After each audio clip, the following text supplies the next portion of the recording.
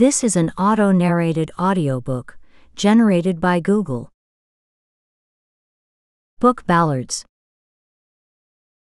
1. The Slaying of Tamatea. It fell in the days of old, as the men of Taiarapu tell, a youth went forth to the fishing, and fortune favored him well. Tamatea his name, gullible, simple, and kind, comely of countenance, nimble of body, empty of mind, his mother ruled him and loved him beyond the want of a wife, serving the lad for eyes and living herself in his life. Alone from the sea and the fishing came Tamatea the fair, urging his boat to the beach, and the mother awaited him there. Long may you live, said she. Your fishing has sped to a wish. And now let us choose for the king the fairest of all your fish. For fear inhabits the palace and grudging grows in the land, Marked is the sluggardly foot and marked the niggardly hand. The hours and the miles are counted, the tributes numbered and weighed, and woe to him that comes short, and woe to him that delayed. So spoke on the beach the mother, and counseled the wiser thing. For a hero stirred in the country, and secretly mined the king.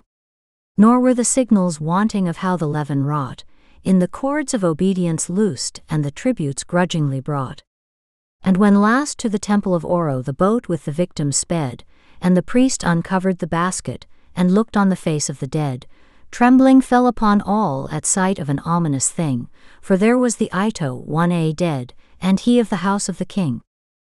So spake on the beach the mother, matter worthy of note, and wattled a basket well, and chose a fish from the boat, and Tamatea the pliable shouldered the basket, and went and travelled and sang as he travelled, a lad that was well content.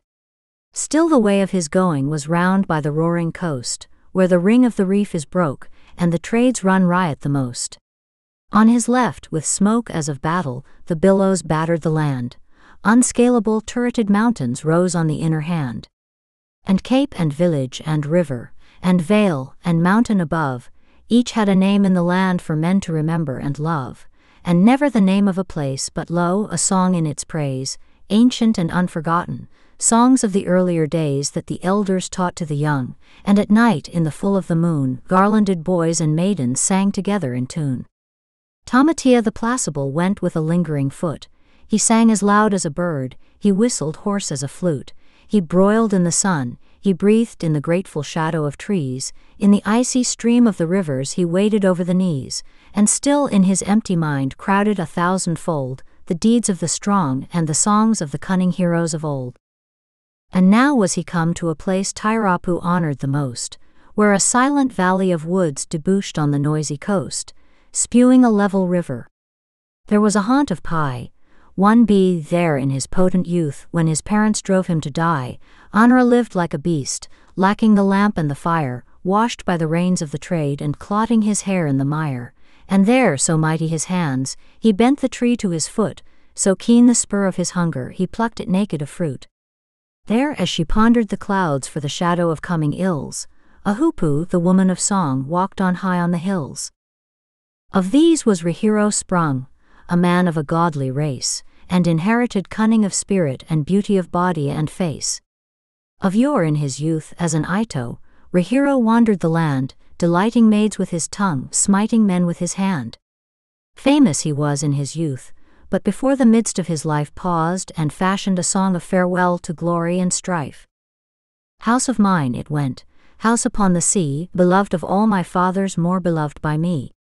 Vale of the strong Honoura, deep ravine of Pai, again in your woody summits I hear the trade wind cry.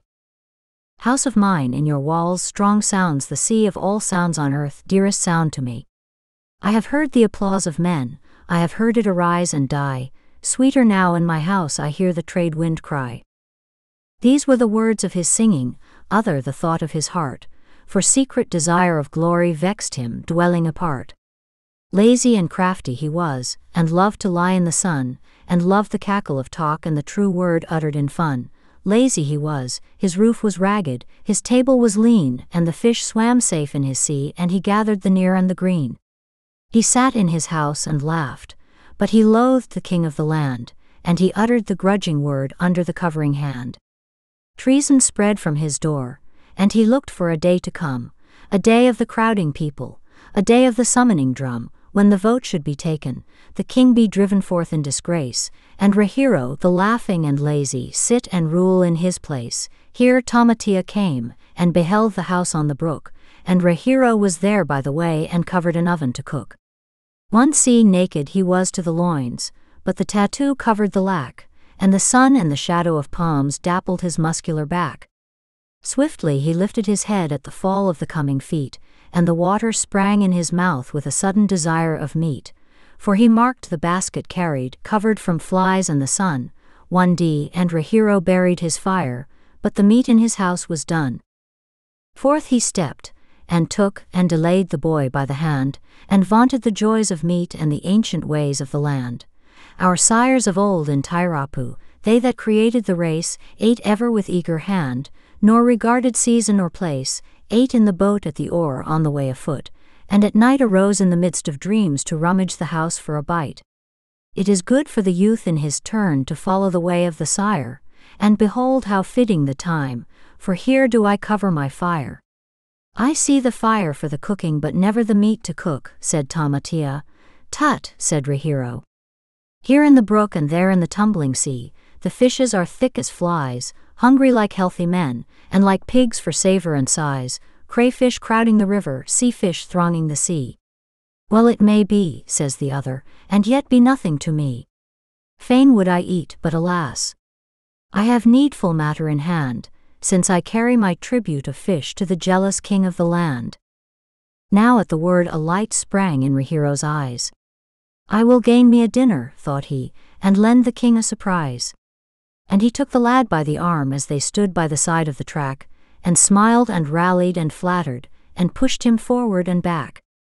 It was, You that sing like a bird, I never have heard you sing, and the lads when I was a lad were none so feared of a king. And of what account is an hour, when the heart is empty of guile? But come, and sit in the house and laugh with the women awhile, and I will but drop my hook and behold, the dinner made. So Tamatea the Pliable hung up his fish in the shade on a tree by the side of the way, and Rahero carried him in, smiling as smiles the fowler when flutters the bird to the gin, and chose him a shining hook, one e, and viewed it with sedulous eye, and breathed and burnished it well on the brawn of his naked thigh, and set a mat for the gull, and bade him be merry and bide, like a man concerned for his guest, and the fishing, and nothing beside. Now when Rahero was forth, he paused and hearkened, and heard the gull jest in the house and the women laugh at his word, and stealthily crossed to the side of the way to the shady place where the basket hung on a mango, and craft transfigured his face.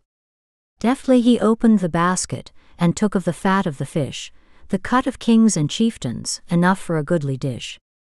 This he wrapped in a leaf, set on the fire to cook and buried, and next the marred remains of the tribute he took, and doubled and packed them well, and covered the basket close. There is a buffet, my king, quoth he, and a nauseous dose. And hung the basket again in the shade in a cloud of flies, and there is a sauce to your dinner, king of the crafty eyes. Soon as the oven was open, the fish smelt excellent good. In the shade by the house of Rahero down they sat to their food, and cleared the leaves, one F in silence, or uttered a jest and laughed, and raising the coconut bowls, buried their faces and quaffed. But chiefly in silence they ate, and soon as the meal was done, Rahero feigned. We hope you enjoyed this preview. To continue listening to this audiobook on Google Play Books, use the link in the video description.